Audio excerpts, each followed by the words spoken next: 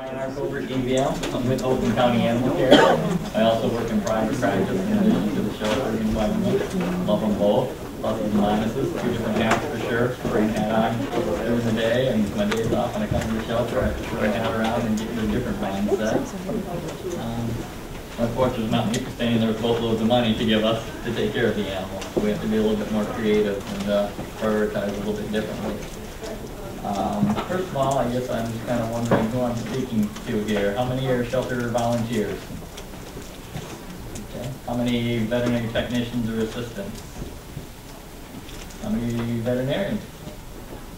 Shelter managers? Less Fantastic. Yeah, I see hands go up a few times, so you guys also wear five, six hats, I see. Wonderful. Okay, we've only got an hour to talk, so I can scratch the surface on a lot of different things. We can't go heavily into depth on any of them. Um, it is not on there. I put it on my sheet here. Can link it to the slide, so I guess for my own protection. But if you want my email address, you can copy it down. If you have any questions that we don't address here or clarification, feel free to email me.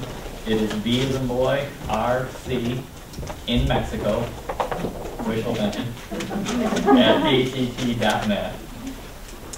I got that from Spain, neutering dogs and cats in Mexico. I needed an account, and I just kept it, and now I live vicariously that way all the time. So I keep it, you know, closest I've gotten in a while.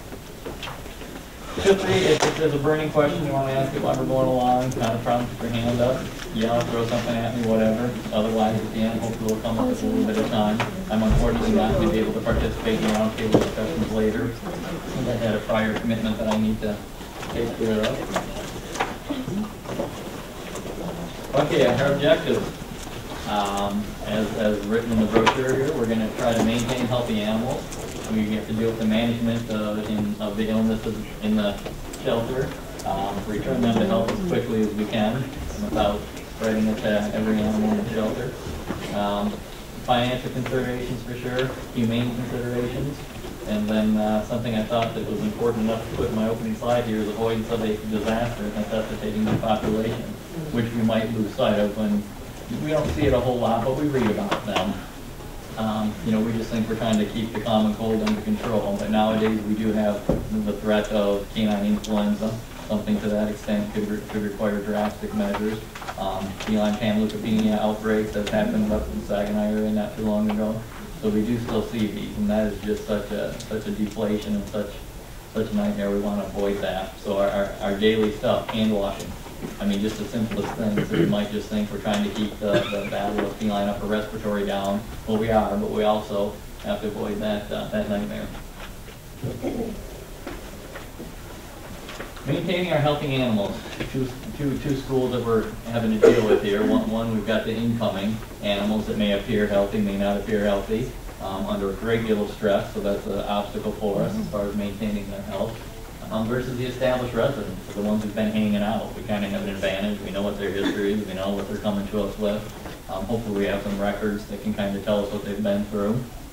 Um, and so the big, the big thing with the established residents is keeping illness away from them. Obviously, the cat or dog that sneezes and coughing, that's a piece of cake, but these incoming ones definitely present a challenge because we don't know what kind of baggage they may have. They can all carry some of these pathogens in their respiratory system, and we aren't gonna know it. Um, they can carry dermatoses, skin issues, ringworms, things like that, uh, ringworm, and, uh, we may not know it. They could be an asymptomatic carrier. So even though the ones coming in uh, appear healthy and look healthy to us, we still need to take it with a grain of salt and treat everything with the utmost, um, you know, biosecurity, if you will. Okay, which one of our Again, look perfectly healthy and happy, but who knows what's in that nose, the mouth, the ears, um, the fur, could we be carrying something? Um, the initial assessment, very critical. Uh, we're looking at that current health versus the risk of acquiring illness. That perfectly healthy animal we're looking at, is it a puppy or a kitten? Um, and is it, is it vaccinated, is it unvaccinated? Did it nurse well, did it not nurse well? There's so many things that we really don't know. And that kind of ties our hands from a medical standpoint. So we generally just kind of need to assume the worst. If it's a Persian or Himalayan and it's under seven weeks, it has ringworm. I don't care if you see it or know it, just assume it doesn't handle it that way, and then we won't have uh, an outbreak to deal with. Can I Um, ask a question or to Sandra, if you're gonna do You sure can. Well, we did have the problem with ringworm, and we isolated it to one cat, although eight did come down with it. Mhm. She was considered a mechanical carrier, we could find no evidence in it. How do we, as, as a rescue when they're coming in, you know, we, we can blacklight them, but does that, that didn't show up in a blacklight situation, so what? Not super we- reliable because of the, the false negative. So what would we do, just, I, I mean, is there some way to, I can't say what I want to say, is there some way to really assess it as they're coming in? Not really, other than like I said, be real suspicious of a long-haired cat. Okay. Each version of Himalayan have an affinity for it. The But you younger would see probably the the more susceptible. You can, but in the real young ones, you may not, because you do have those asymptomatic carriers. So there's times you just, you're not gonna be able to, to assess that and know that. So just essentially treat them all like they have it. Um, obviously, yeah, if you get the hairless lesion, any alopecia anywhere, especially head, muzzle, ears, for sure. Have a great black light, have the right kind of black light, know how to use it, give it the five, ten minute warm up, make sure it's got the right frequency. Some people just go by their little ultraviolet light, you know, it stands still and think that's gonna do it. You're gonna have even more false positives in that way, so. Yep. One thing our, um, that, that helps us suggested when we bring in new cats is to lime sulfur dip all of them. Which, Yeah, that's one Not thing. fun, Um, but- but, uh, you know, probably the, the biggest thing you're gonna see and hear me harp on today is stress, stress, stress, stress management. And you're taking a cat that's coming in and immediately putting them on a great deal of stress. Not to mention the safety and health issue and then the human exposure. But I could see someone who's been burned doing that, for sure. I do that too. I have a problem all of a sudden it's holy stuff, you know? So you, you gotta be careful about the knee-jerk reactions there. But yeah, that's definitely one thing. Like I said, I just kinda look at guys and go with my level of suspicion. And from time to time, we're gonna get burned, but hopefully with, again, proper biosecurity handling of these animals and the spot cleaning that, um, was it Tanya? Tell me, George, that? Yeah. Yeah, the spot cleaning she talked about, all these types of things are gonna lessen our chances of getting burned. And lessen our chances of having a full-blown outbreak of something somewhere because we're mixing cats and dogs and doing all that. Yeah. What is spot cleaning? Spot cleaning is, you know, and, and we were guilty of it too, uh, in, in the recent past here. We just move an animal from one cage to the next, take it out, wash it, dry it, do whatever. But someone's handled that cat, put it in a new cage that may or may not have been cleaned well and properly, which is an art in and of itself. So instead of that, we're gonna go in and change the litter box or scoop litter if you can. If you see any visible debris, organic debris, poop, you're gonna clean that off the cage, any sneeze type marks. So you're just gonna clean the spots that appear dirty to you. Are we missing some germs and things like that? Yeah, but they belong to that cat, that cat's dealing with them, so we're gonna let it go. When that cat's adopted out, or once a week, once every ten days, or whenever you decide, okay, cages have to be clean type of deal. Um, if you minimize that movement, you're gonna minimize the chance of moving things like ringworm. They just had the cat or kitten that wasn't showing signs and out because uh, most people's sanitation procedures out of necessity aren't, aren't adequate. You know, we're, talk about that a little bit later.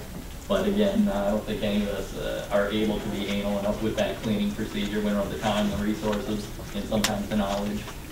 So there's a lot of, uh, lot of pitfalls with that. Um, Again, in that initial assessment, we have to decide on vaccinations and routine care. Vaccinations are great, the sooner the better, even a matter of hours. You know, two, three hours, four hours earlier than you normally would instead of at the end of the day can make a difference between getting an animal a baseline immunity going, at least starting the battle. So if it does pick up one of these diseases, it's gonna be less severe, less shedding potential, things like that. The routine care, are we gonna heartworm test, feline leukemia and AIDS test? Are we gonna do it fecal, are we just gonna deworm? I mean, these are all decisions that need to be made, you know, based upon that. And again, I'm not gonna give you the exact recipe saying this is what you do with the dog and cat when it comes in, because we definitely don't have time. I'm just, and I'm guilty of it too, there's so much, you know, I don't know what I don't know. So this is just to kind of give you things to think about, jot down some notes, say, yes, I need to look into this or that. You can Google stuff, you can go online, and there's some other great sites and resources that will probably tell you exactly what you should do for your situation. Every situation's gonna be a little bit different. And you'll see another website in there, if you aren't familiar with it, it's um, www.sheltermedicine.com. That's where most of my talk is coming from. That's um, UC Davis with Dr. Hurley. She is the guru of all things shelter, health, and medicine. So if you want to know something, she'll, and if she doesn't have it on the site, she's going to tell you where to go for sanitation issues and cleaning and how you should do stuff. What was that Um, all website again? stuff. It's www.sheltermedicine.com. Yep, and you'll find anything and everything you need on their great site. So this, this is the kind of things we're thinking about during this initial assessment. Uh, movement and shelter traffic flow is also huge, very important. You, you don't want animals that just come in and are just stressed right now, um, next to your kittens. You don't want them right next to the door where there's gonna be continued traffic and stress and things like that. Um, since we don't know about them, we don't want them right next to the cleaners area where they're cleaning food bowls and litter boxes and things like that just because of aerosol transmission and whatnot. So, um, you know, when you're thinking of movement in, in shelter traffic well, you have to figure out where am I gonna put my healthy animals, where am I gonna put my sick animals? Are they gonna have to cross each other? Are they gonna be too close to each other? Um, where do we put the kittens, which we'll call naive, that that are open for all sorts of infections? Um, where are the barking dogs? Where are we doing surgery at, you know, where's the heavy traffic areas and people poking and prodding at things. Um, where's the washing machine and the dryer clanging and banging away? You- You're not gonna put your tinted cats right next to that, I hope, or the dog that's already on the verge of being a fear biter, put him next to there and he's for sure gonna, you know, be on the euthanasia list for being aggressive. So we, we can kind of think about these things, and again, I can tell you exactly where to put things. It's just, a lot of times in our day-to-day busyness, taking in and doing what we have to do and trying to get done, we don't really stop and think, what is our traffic flow here? We were guilty of that at Oakland County Shelter, you know, we've been going along, and after three years, we're like, yeah, that's really stupid, why are we doing that? We never thought about it. It was one of those things we didn't know that we didn't know.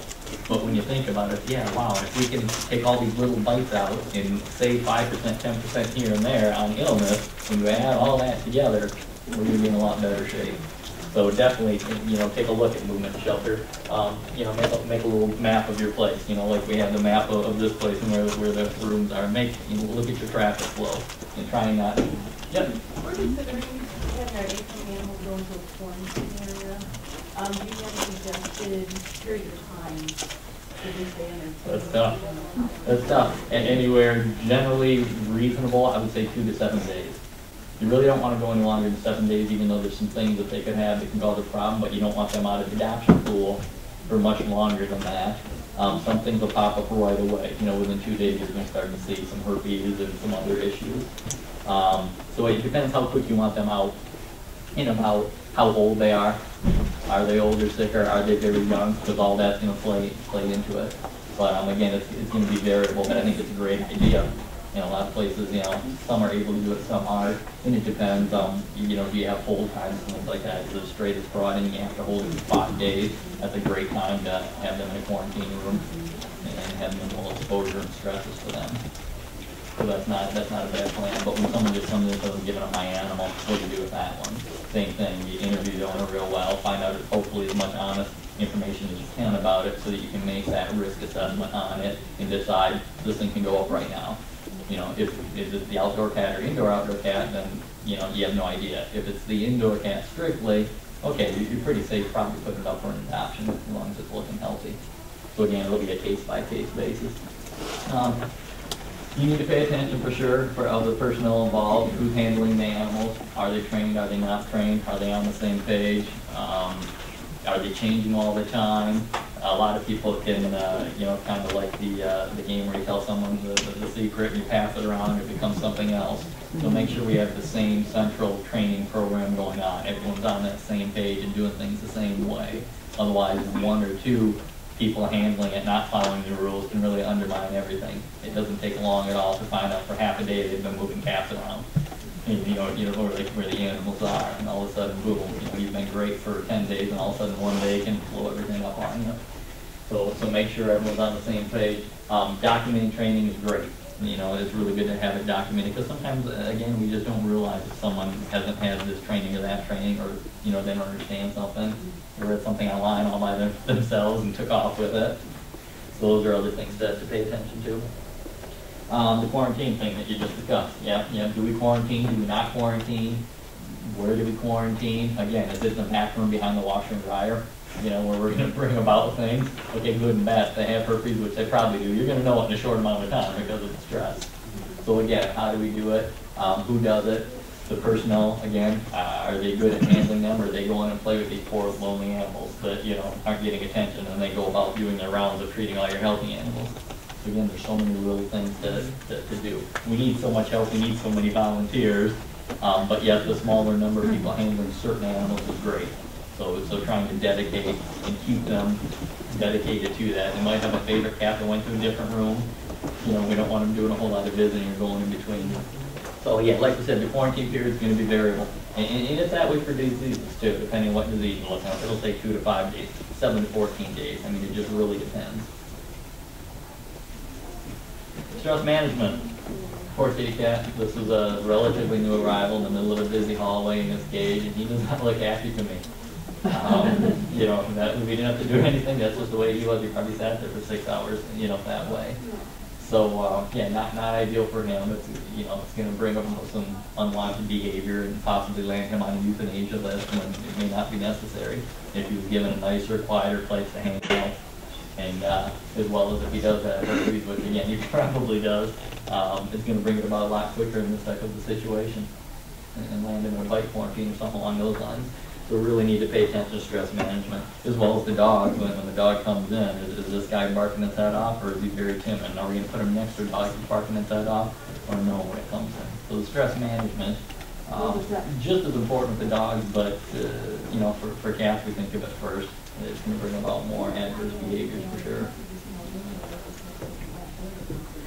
Sanitation, wash your hands, fantastic, do a lot all day long. Um, and water, warm water, 20, 30 seconds, make sure people know we're not just sticking our hands underwater and whatnot. Um, the, the handy, hand gels and whatnot, a good idea. Um, definitely not hundred percent by any stretch, and make sure people are aware of that, so they don't get a false sense of security and think that they can play with their cat, put some alcohol on and run to the next cat, that's not, not gonna succeed. You know, I had experience just briefly with the sanitation on the hand sanitizer. Mhm. It Seemed like the cat reacted, well, actually, not just one, but a lot of them. Yeah. Didn't like that on my hands. Even after it had dried or whatever, I had to wash, rinse it all off and everything. And The hand sanitizer, the alcohol or something. Yeah, the, the the perfumes and whatnot, but again, if we're handling the cats the least amount possible, For sure.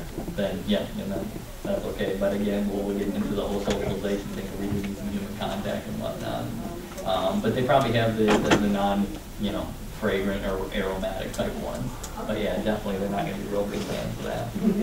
Um, we'll go into the other sanitation aspects a little bit later, as far as cleaning, cleaning agents and all that good stuff. I guess I could talk for three hours just on sanitation.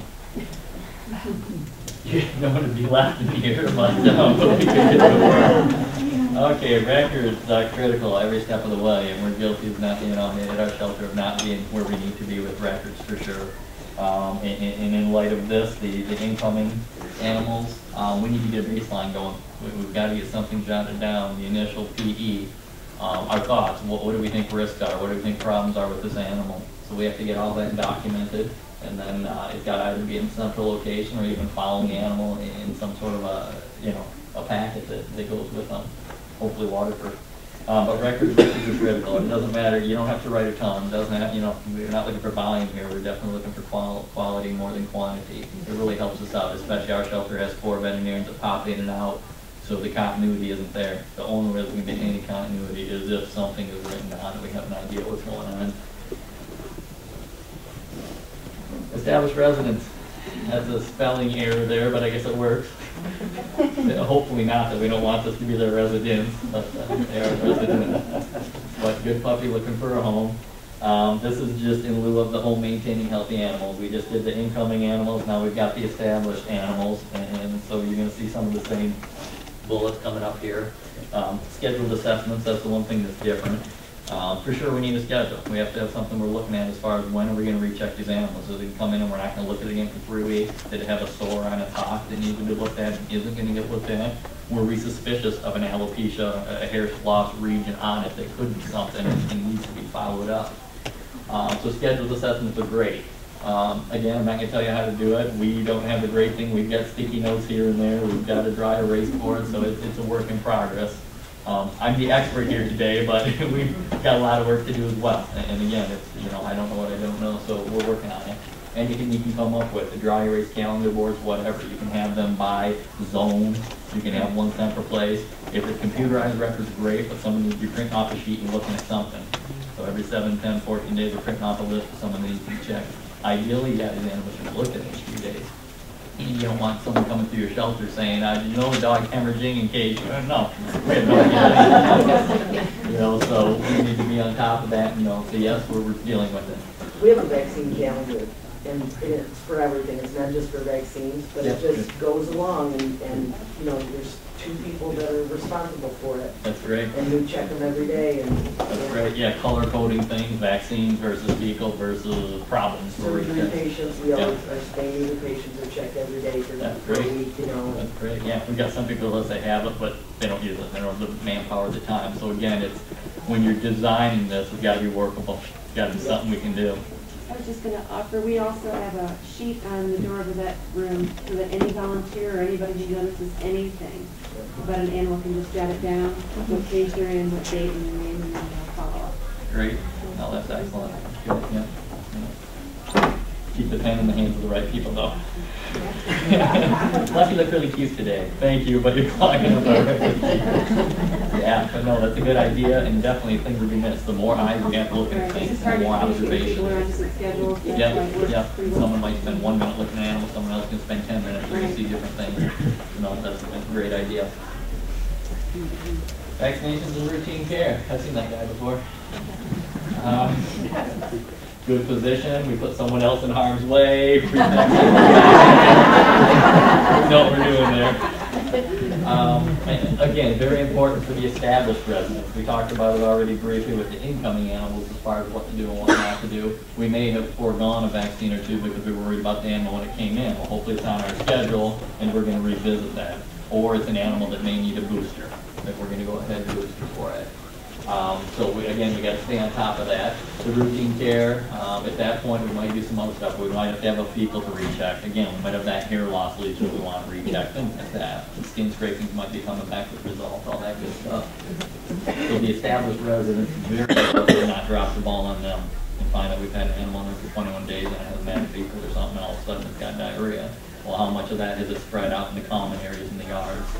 So again, we need to really stay on, we're, but unfortunately, we're still busy a lot of times with the incoming, that we aren't able to take care of that established resident. Sometimes I hit the door and I do nothing but stand at the surgery table for six hours, and then, you know, I go home, someone's like, do you have any plugs in there? I don't know.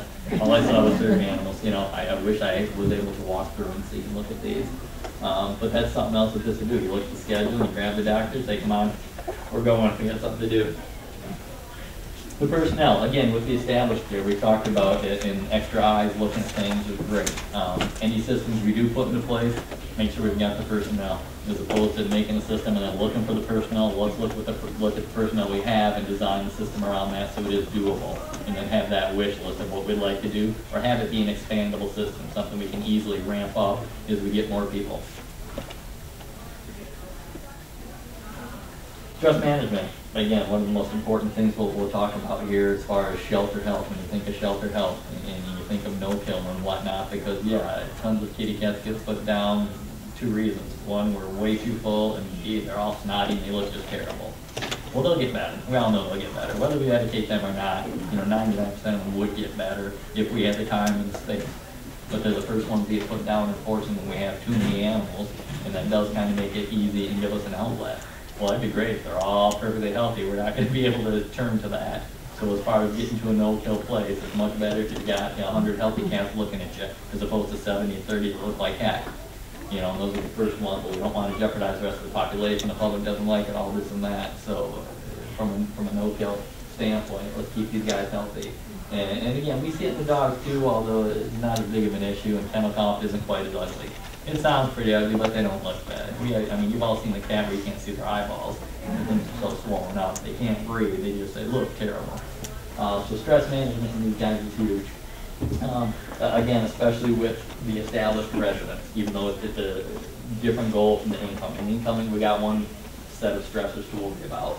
Once we've got these established residents, um, they can be in our playrooms. We've got a little kitty city area where we can start to mix and match and give these guys some playtime. We don't want to be changing animals out all the time, but uh, some animals love the group setting, other ones don't. And again, if we spend time watching them uh, from their body language, we'll know which ones belong there. If you've got a room where you can put five to seven animals in, they're going to be healthier and happier and love. Um, so the stress management thing for, for your established residents is very important. And again, we can lose that spending all our time on the incoming guys, what their set of circumstances are. So sometimes the established guys, oh, it's doing okay, and we don't think about it. But if we really look and study their, their actions and movements, Um, a, a cat that may not be all that healthy and happy in, in cage or with one other group might really flourish in this kind of a setting and might get adopted a little bit quicker. So as far as increasing adoption, sometimes we can just do it with that, change the venue. A cat that would never get adopted in the cage alone because it has no personality because it's stressed out, might get adopted in a heartbeat in a group type setting. Or if it's got, you know, some toys or something else, we can relieve its stress. Um, we can get it all in a little bit quicker. Sanitation, again, um, I'm going to go into a little bit more detail uh, down the road here, but for the established residents as well as the incoming area, um, just as, just as important, because a lot of these guys still can look pretty normal, maybe we quarantined them for seven days, we're thinking, uh, piece of cake, well, they can still be shedding Bordetella before you leave. So again, it might not get the attention that it needs, and the next thing you know, we've had this, this run that you tend to think is, is the old timers, they're good, they're safe, all of a sudden, six of the dogs are coughing and hacking, we've gotta separate them, which requires movement, stress, animals out of the adoption light, money to take care of them. So all of that can come from us not paying attention to sanitation in the established areas, because it just kinda gets, you know, this, this, the squeaky wheels getting the grease, and, and a lot of times our established gotten wrong. Um, the record's good, make sure we keep doing that record, not just the incoming animals have a great record, then there's nothing written for twenty days. So we gotta make sure that, again, there's something in place to where we're jotting something down. Management of illness and getting these guys, that, that was all of those, those healthy animals and keeping them healthy. Um, the management of the illness and, and getting them back to health is what do we do with that? Um, and again, we've got the incoming animals, which is prob- probably a little bit more of a challenge. I think we probably get more euthanasias coming from sick animals coming in. And again, it depends on time and space, degree of illness, money, all of that. Um, but I think, I think we're challenged more with incoming ones than we are the established ones. The established ones, they've got our hearts, we already love them. Oh, this one's protected, don't put Fluffy down. Whereas if Fluffy just hit the door and looked like that, Fluffy'd be down. So from a no-kill standpoint, we probably need to spend a little bit more time managing illness and return to health with the incoming. And again, probably one of the most important things on there is gonna be, um, is gonna be, uh, the stress management. It's, it's gonna be huge, especially these incoming guys. So we have, again, with incoming animals that are sick as opposed to healthy, we've got our initial assessment. Um, Is it treatable? Is it not treatable?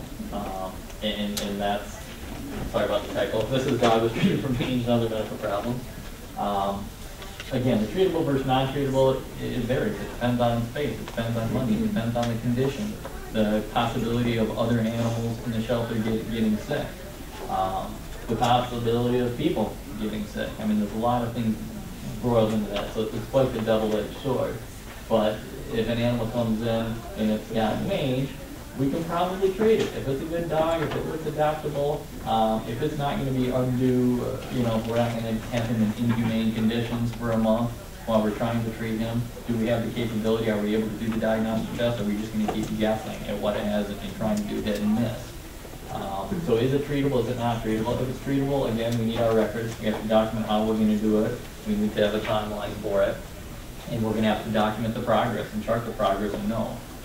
Um, Are we gonna vaccinate or not? Again, with, uh, with this group that's not healthy, we've gotta say, okay, benefits versus risk. Again, the sooner we can get a vaccine in them, the better. Um, vaccines are burdensome, whether it's a modified live or killed, it's gonna be another tax on that animal that might be at the breaking point right now, but again, we gotta walk the fine line. Do we push it farther into illness? Do we try and protect it from additional things going on? And each vaccine will be, be different because, uh, they're gonna put a different burden on that animal. So again, we, we've got to kind of weigh the, the pluses and minuses. What type of animal? Are we talking about a young animal or is it an old animal? An older animal that's sick, I'm not really gonna worry about it. It's probably got some immunity going on. The young animal that's sick, we don't know. It might not have any immunity. And we don't wanna bring something in that's gonna, again, cause a, cause a major illness throughout the, uh, the hospital. Quarantine. The dog can be really nice at times. Let's see, we've got, okay, again, the, the same thing. Um, when, when we're bringing in a sick animal, we've got to quarantine this animal. Um, we, we can do a behavior assessment on it and figure out what's going on, but at the very least, from a disease standpoint, we need to have it under our control and know what's going on, whether it's a holding period for five days and then some serious behavior modification. Um, or are we gonna start trying to treat it what's going on if it's not an aggression issue and it's just, um, a health issue? Um, again, with, with, with quarantine, we're always wondering about the transmission potential. Is this something that's highly transmissible? Is it something that really isn't transmissible and much easier to, uh, to control? Because that's gonna, you don't also have to have a, a five day for everything. Some things you can have mild, medium, you know, severe as far as how long to quarantine. So you can have different room if you have that luxury. Um, sometimes staging things are good too, like the incoming animals get put in this room, after two days, we move them to this room, which is kind of a transition, and then we can get them out into the main population. So you can break that up, um, in, in, in lieu of this, or in light of this, this one is under our management of illness. Um, not this picture exactly, but this, uh, this quarantine discussion. Um, for, for different stages, you're gonna have some idea of shedding, how long are we gonna be shedding certain things, and we can quarantine them based upon that, and start to wean them out transmission potential. So this guy's obviously going to be very high, and, and we're going to have to keep him quiet and not stress, and hopefully have a place for him. Um, this cage probably not ideal. We're open all the way around, so he can sneeze and snot all around. Um, and when you're talking transmission, again, dogs and cats are, are going to vary. With dogs, we're talking about a 15, 20 foot physical barrier because of the force of their sneezes and droplets, uh, how far they can carry. With cats, they're talking about five, six feet, so you don't need as much physical separation in, for them. Um, again, you don't want them right next, to some people say, well, we should put the cats next to the dogs because they don't really catch the same thing. No, dog can bark his head off, cat's gonna be stressed, and, and you're further behind. So we're trying, trying to find someplace good for these guys that are highly tran- transmissible, um, is the way to go.